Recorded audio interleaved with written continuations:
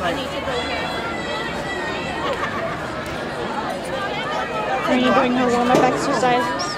It's good. She's fussing with the braid. This is pre-race warm-up. Midget girls, 1500 meter run on a track. Midget girls, 1500 meter run on a track.